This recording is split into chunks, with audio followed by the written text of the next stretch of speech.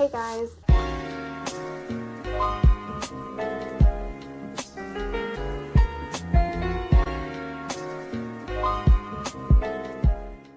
How are you today? My name is Brittany if you don't know, and welcome to my channel, or welcome back to my channel if you are subscribed. And if you are subscribed, thank you so much. Today I'm going to be sharing with you the very basics of crochet, and this is going to be the first episode in a beginner focused video series that I will do. So if you don't know how to crochet at all, or knit, or do anything fiber related, no worries because I am going to show you all that you need to know to successfully get started crocheting.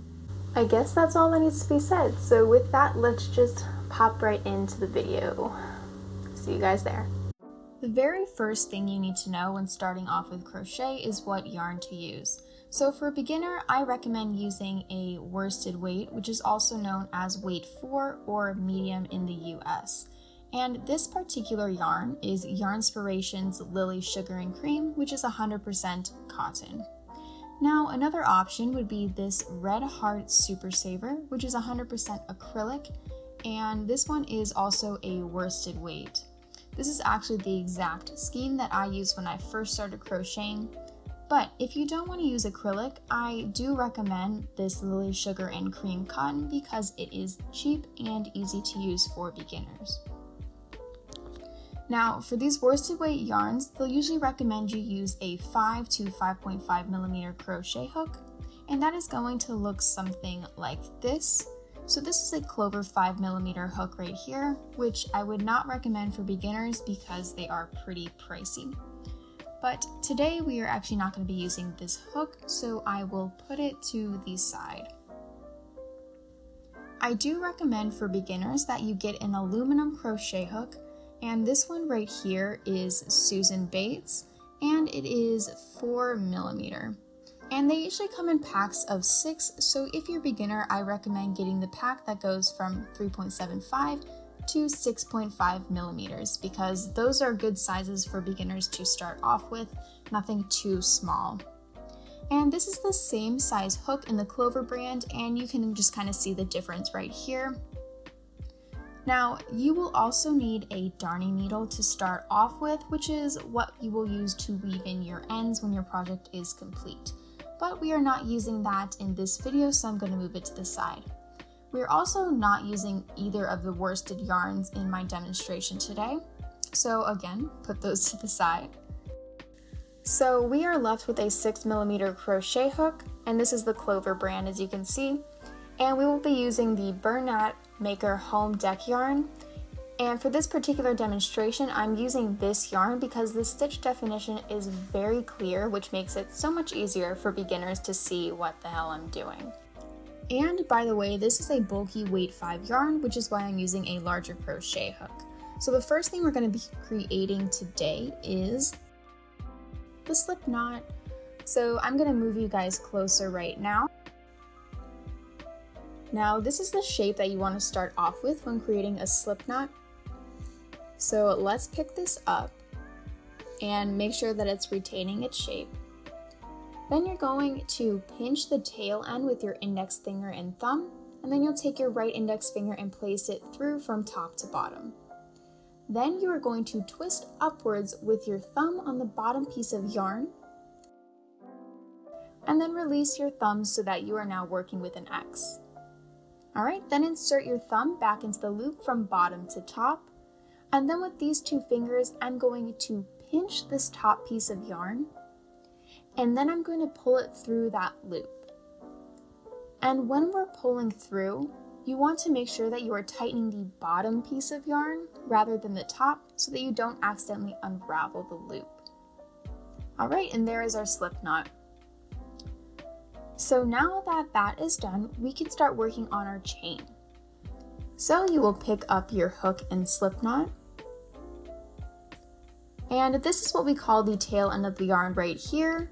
And this is what we will refer to as our working yarn. Now you want to insert your hook through the loop just like so. And take both ends like this and pull tight on your hook. Now, different people hold their hook in different ways, which I will not be going over in this video. So if you want to know more about that, check out my blog link down below. I hold my hook with my thumb on the groove right here and then with my index or middle finger on the back, just like this. I think really it's whatever way is intuitive to you.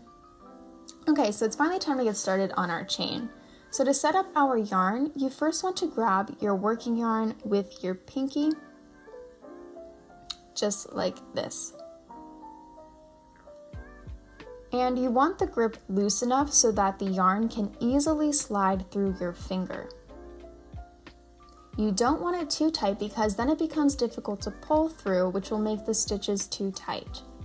The next step is to wrap it around your pointer finger like so, going right over the top of the finger and bringing it around the back. Then we will take our middle finger and thumb and grab onto the slip knot right here. Alright, and that's how we get set up to crochet. Now let's begin chaining. To start, we want to grab our yarn by wrapping it around the top of the hook from back to front. And as you can see, we've caught it in the head, and this is called yarning over. We'll then twist the hook towards us so that the head is facing downward and pull it through the loop that's already on our hook. And then you want to twist your hook away from yourself so the head is now facing upward again. So I will show you that again. You're going to yarn over, twist the hook towards you, pull it through the loop on your hook, and then twist away from you. And we have now just completed two chains. So let's do it once more. We'll yarn over, twist towards us, pull through the loop, and then twist away. All right, let's back it up a little bit. So we'll yarn over, twist towards, pull through, twist away. So I'm going to continue until I have a total of 10 chains made.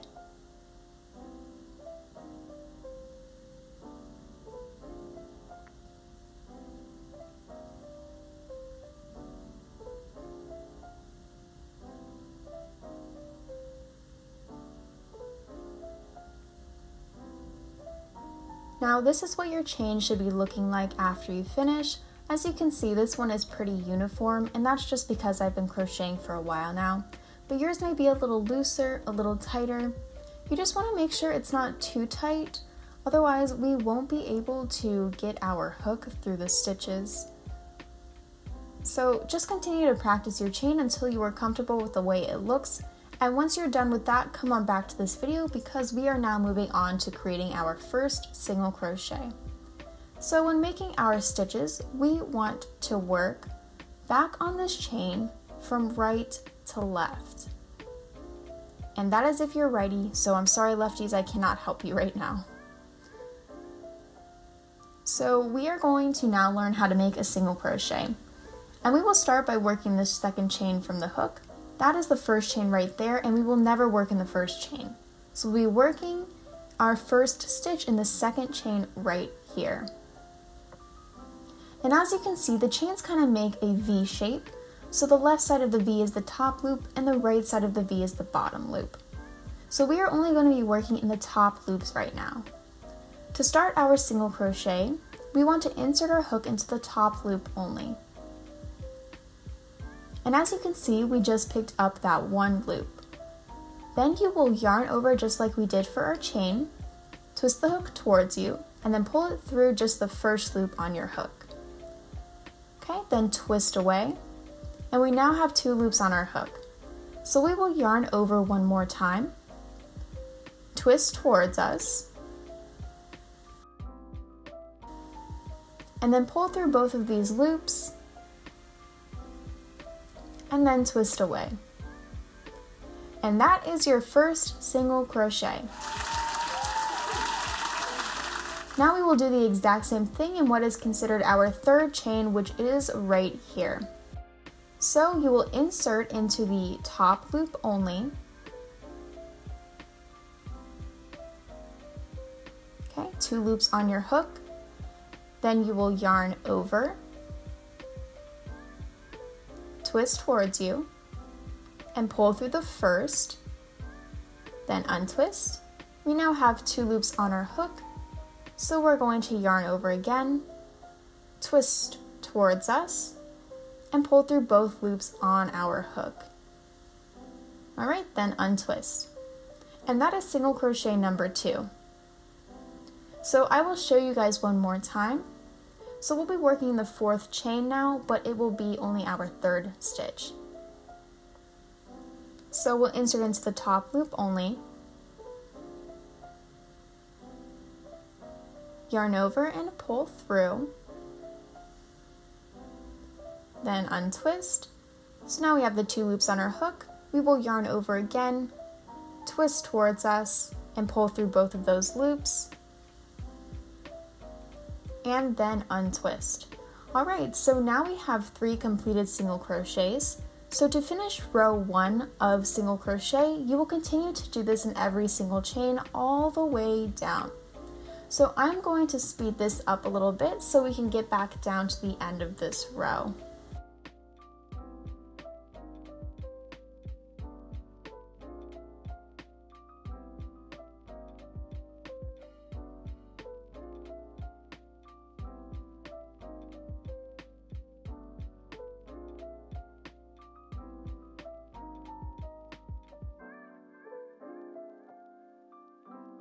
Right, now this is our very last chain and you wanna make sure you don't forget about it. Again, we're just going through that top loop and making the single crochet like we have been.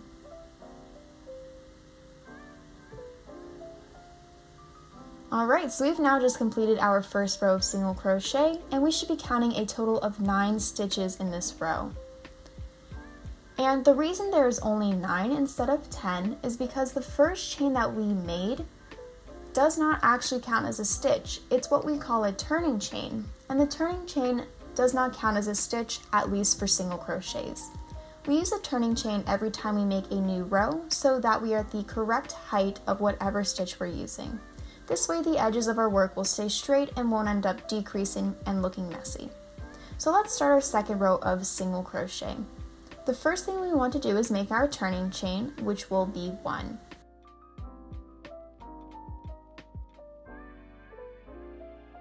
So we will chain up one and we will just yarn over, twist towards us, and pull through the loop on our hook. And then we will untwist. Now we will flip our work just like this so that we are working from right to left. And if you are a righty, you will always be working from right to left. So this chain one does not count as anything, it is just for us to turn our work. Now, as you can see, there are these V's on top of our stitches, and what we're going to do for every row besides our foundation chain is work so that the whole V or both loops will be on our hook. Okay, so just like this, you can see both loops on the hook. And we're going to do that for all of the V's. We'll go right under each of them. So for single crochets, you always want to work in the very first stitch because this chain one does not count as anything. And as you can see, there are these holes right here, and it's kind of like they're on a second V almost. Now we will insert into this very first stitch right here, and again pick up both loops, and then we're going to do the same thing where we yarn over and pull through both of the loops right here and then untwist. So we now have two loops on our hook. So we will again yarn over, twist towards us, and pull through both of those loops. So that is going to be the first stitch of our second row. Now we will insert our hook into the very next stitch right here. And again, here is the V right there, but we are inserting it right here in that space. Okay, we pick up both of those loops. So again, we will yarn over, pull through both those two loops right there. And now we have two loops left on our hook, so we will yarn over, pull through both of those. Awesome, so that is going to be your second single crochet. Now you will continue doing this in every single stitch. So we're going right into the next one right here as you can see. We'll insert into that little space, Make sure we're picking up both loops, then yarn over, pull through, two loops on your hook, so you will yarn over and pull through both too. So I'm going to finish this row a little bit faster so that we can get to the end. And you want to make sure you're counting the exact same amount of stitches in each row, so I would recommend counting as you go.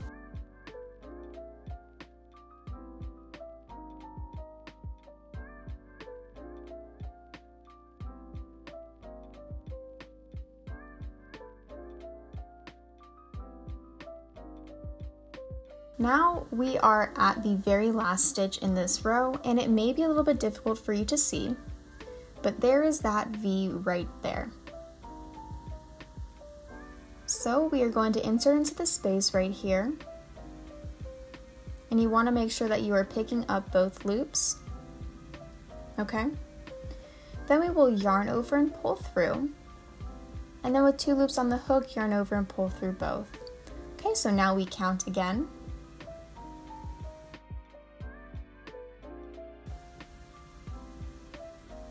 Alright, and that my friends is how you create single crochets. So for the third row it would be exactly the same as the second row. We will chain up one, flip our work, and then you insert into the very first stitch with your hook and pick up those two loops. Then you'd yarn over and pull through.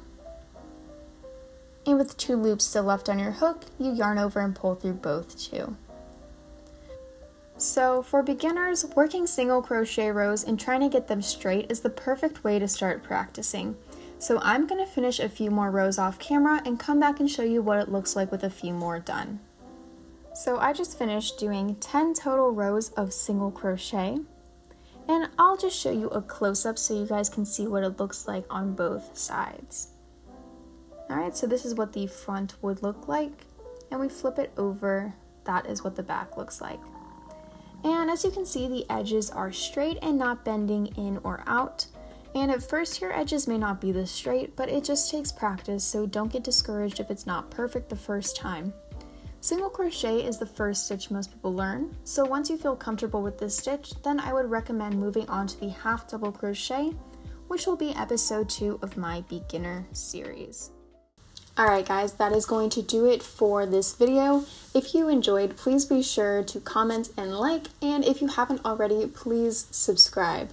I make weekly to bi-weekly crochet patterns, and I'm going to be doing this beginner series over the next few weeks, so make sure to turn on your bell notifications so you will not miss an episode. I will leave all of my socials right here if any of you guys want to follow me on Instagram or Facebook or Pinterest. And also I will leave my blog down below as well where all of my written patterns are located. That is going to do it for this week. Thank you guys so much for tuning in and I will see you all in my next video. Bye! I'm so sorry for that. Bye.